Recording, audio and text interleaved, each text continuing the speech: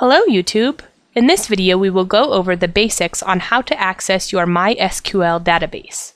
High-end, prepaid, game server, Nitrado. Welcome back! We will start by navigating to the web interface of your server. On the dashboard at the bottom of the page of the web interface is where you can find your MySQL credentials. Scroll down to show these credentials. Under MySQL credentials, you will see the categories listed for your credentials. We will log in by using the PHP MyAdmin.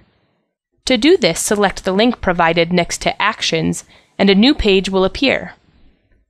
On this page, you will be prompted for your username and password. These can be copied directly over from your dashboard.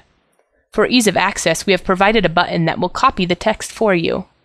If the credentials are entered properly, select the Go button and you will be connected into your database. You are provided many tools with the database.